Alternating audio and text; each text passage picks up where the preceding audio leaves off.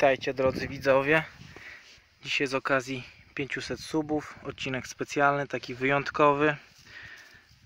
Nie tak dawno dostałem wiadomość, jak dla mnie zatrważającą, że jutro na naszym terenie, cukrownie Werbkowice, zostanie przesiana plantacja buraka cukrowego.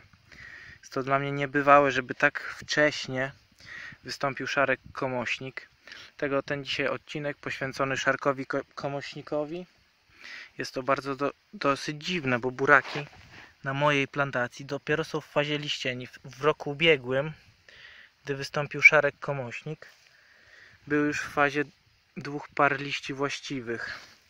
Że jak ma się bronić taka plantacja, na której są buraki w fazie liścieni? Wiem, że to jest problem tylko naszego terenu Zamojszczyzny. W innych rejonach Polski jeszcze szarek nie występuje. Dlatego dzisiaj taki apel, żebyście lustrowali swoje plantacje. Ja na swoje jeszcze nie znalazłem. Rano byłem na drugiej działce. Też tam nie widać. Ale na sąsiednich wioskach dochodzą mnie sygnały, że nawet całe siewniki od miedzy zostały zjedzone. Na, na tej plantacji jest taki problem, że w roku ubiegłym sąsiad miał buraki. No ale nie było na tej plantacji szarka. Także ma, mam nadzieję, że tutaj też nie będzie w tym roku. Będę obserwował, starał się jeździć codziennie.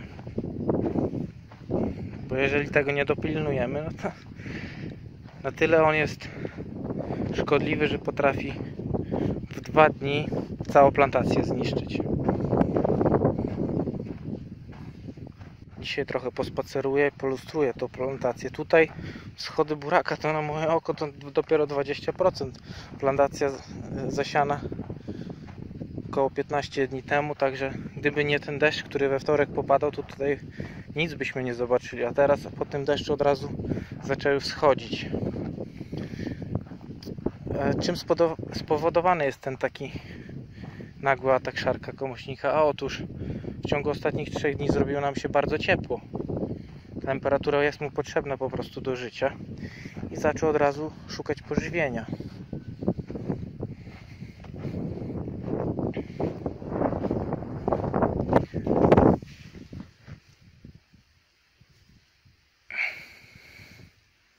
Na tym polu widać, że jest bardzo mało pożywienia dla niego. Tak tutaj jest. Przepraszam za to, że wieje, no ale prawie jest tak codziennie.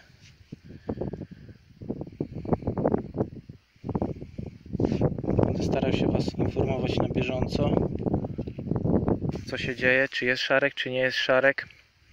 Byłem dzisiaj u inspektora. Widziałem już nazbierany cały słoik szarków komośników, także tutaj znajomi z sąsiednich wiosek to już mieli z tym problem wcześniej, ale oni wcześniej zasieli. Wcześniej poschodziły buraki. Ja tak obawiałem się przymrozków, zasiałem trochę później. A widzę, że też wschodzą.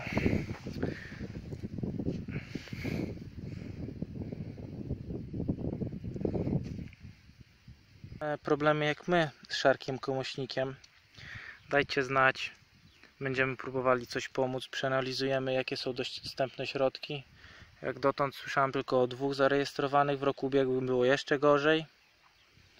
Bo to jest problem taki lokalny, nie ogólnopolski. Także nie każdy sobie zdaje sprawy z tym, że taki mały chrząszcz potrafi plantację buraka cukrowego zniszczyć w ciągu doby, dwóch dób. Także apeluję do rządu, mi- ministra rolnictwa, aby tych środków było jak najwięcej, żebyśmy mieli jakąś legalną formę walki z tym szkodnikiem, żebyśmy nie musieli likwidować swoich plantacji